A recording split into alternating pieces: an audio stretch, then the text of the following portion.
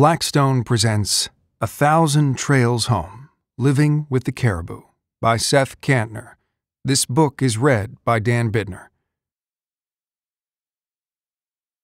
For Stacy, who came north somewhat accidentally and a far greater distance than either of us realized, to live this life beside me, one with more caribou, bears, wolves, and wildness than a young Boston woman may have ever dreamed. Prologue Caribou in the Night. Barefoot in the darkness, on thin fall snow, I stop walking. My feet will be freezing soon, and I'm only here to listen. Forty steps behind is the small yellow glow of lamplight coming from the window in my sod home. Inside, I have hardwood steaming for runners for a dog sled, and I need to get back in to make sure the water doesn't boil dry. Above the branches and brush, the stars are sharp, and a thin fingernail moon offers little luminance. From the north comes a cold breeze, hardly more than a stir. The aurora is weak, too, faint green smoke up against the stars, and not enough to light the night. Ice pans far out in the river make soft roars as they collide with heaped fast ice, tinkle, and then spin silently on their way west. My feet are feeling the cold. South across the dark river float the comments of a longtime companion, a great horned owl. Whoo, whoo, whoo, whoo. From down the ridge comes the rattle of chains and a few whimpers and whines my dog team pacing in circles, restless in the rich smelling darkness. They too are likely holding freezing pads up off the snow, one at a time, to thaw while they focus their ears north. For once, I'm not out checking on the team. I'm not trying to dissuade a middle of the night grizzly bear from borrowing my meat. I'm only listening. From the north, the night slowly fills with soft sounds many feet moving through snow and the low, wiry brush of frozen tundra, the click of hoof tendons, an occasional grunt, the clatter of antlers sweeping dwarf birch and alder branches. Caribou are passing in the night. Big and small herds have come through for nearly two months now. It's only the last three days since the river began running heavier ice that this uninterrupted line of animals has been marching east. In truth, caribou have been passing my entire life. The land is veined with their ancient trails.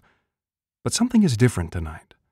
There's something big and dark and wild about standing barefoot on thin snow and frozen ground, hearing thousands of animals traveling through, and not being able to see even one.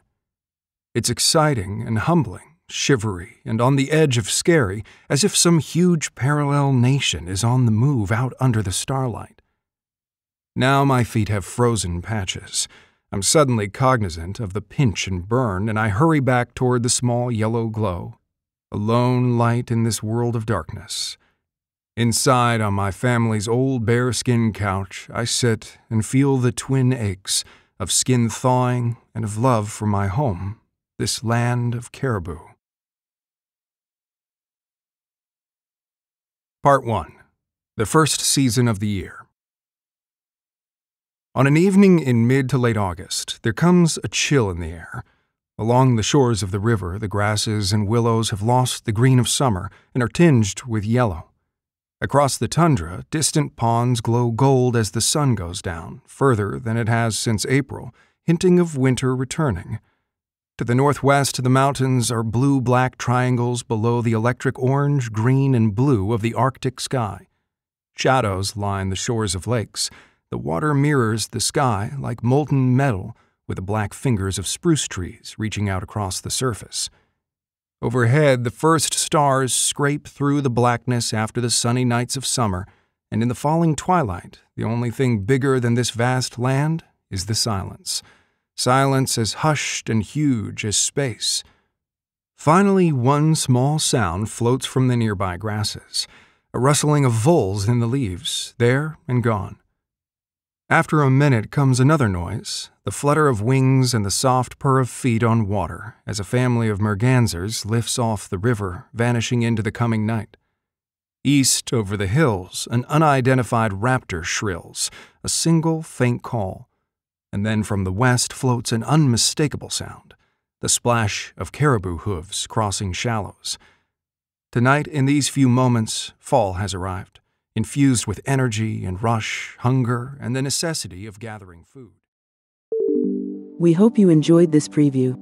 To continue listening to this audiobook on Google Play Books, use the link in the video description.